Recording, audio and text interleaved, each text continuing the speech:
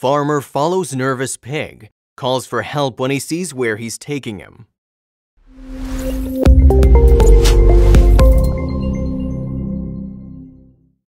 Ellie Laks had a dream at just 7 years old to help animals, and that dream came true when she reached her early 20s and founded the Gentle Barn. She loved animals and children so much that she decided to make it her bread and butter. Although Ellie was a lover of animals, she never expected to have a mystery on her hands after the adoption of two rescue pigs. Let's backtrack a little. The Gentle Barn was known for taking in and helping rescue animals. That's why when these two little piglets were brought through their doors, the team was ready to help. Starting off as two very neglected piglets who were skinny and malnourished, Ellie took them under her wing and set them on their road to recovery. But this is when she started noticing that things were a little odd with piglets Horton and Henry.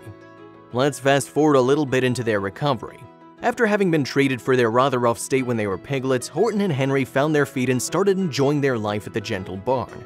However, we did notice that Henry developed a bit of an aggressive side. Henry often got into fights with other animals. However, Horton was always exempt from the outbursts of Henry's vile behavior, which astonished Ellie. Ellie found this behavior very peculiar as Horton and Henry should be fighting with one another to assert dominance of some sort. However, all of the scraps Henry was getting into was with the other animals. Yet, aggression is a trait that can be found in pubescent pigs, so despite these surges of aggression, Ellie continued the recovery process with the two pigs, until things seemed to get too weird to ignore. After taking care of and rearing these piglets since they were dropped on her doorstep, Ellie thought that she'd seen it all in terms of animal behaviorism and what to expect from recovery animal patients. But she did not expect for these pigs to get so strong and so big so quickly. In fact, she was quite surprised at the alarming size that Horton had reached. Considering the sheer size of both these pigs, it was even easier for Henry to swing his weight around when he got into a tussle with the other animals. We'd all noticed that Horton was getting increasingly lazy, but that's what pigs do. Pigs are known for their messy and lazy nature, but quite contrastingly, Henry never seemed to slow down. With his energy and menacing attitude, this pig strutted around like he owned the place. Until one day, the workers noticed something odd about Horton. The staff at Gentle Barn had noticed that Horton was struggling to walk after the two pigs were about a year old. The problem was that his legs were struggling to support his massive weight. Apparently, this issue had become quite common among unnaturally large pigs that are raised for food.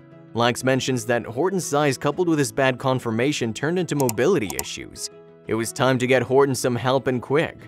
Horton had surgery and was put on anti-inflammatory medicine to help his condition. While he now feels better, he still spends most of his days on bed rest. His condition seems to be bettering every day, but for now, he's enjoying the sun in a safe environment with limited mobility.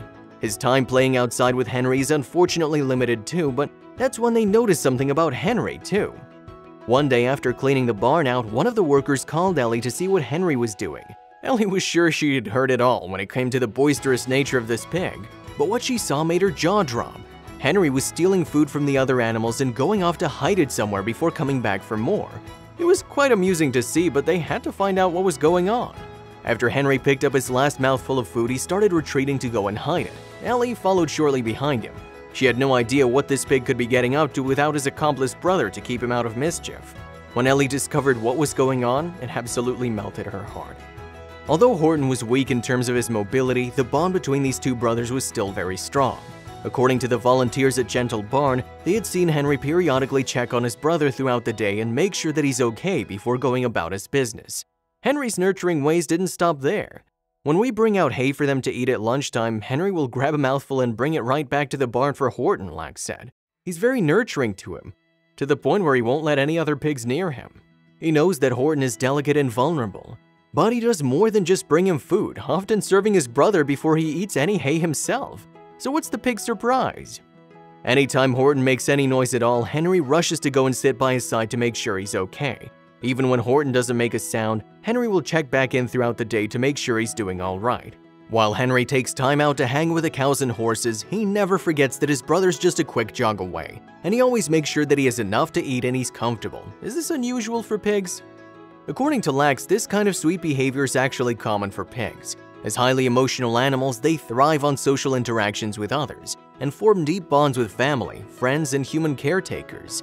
Pigs have a highly developed language, Laks said, they're always communicating through their different snorts or grunts. Henry especially loves people too. He's always up for a belly rub and some veggies. But let's be honest, who isn't? Before Horton's surgery, Henry knew that there was something wrong. In saying so, he became aggressive and protective. More so, he wasn't stealing the food to be a naughty pig. In fact, he was just looking after his brother. We're happy to report that both pigs are being well looked after at Gentle Barn and that owner Ellie Laks has just written her own book titled My Gentle Barn, creating a sanctuary where animals can heal and children learn to hope.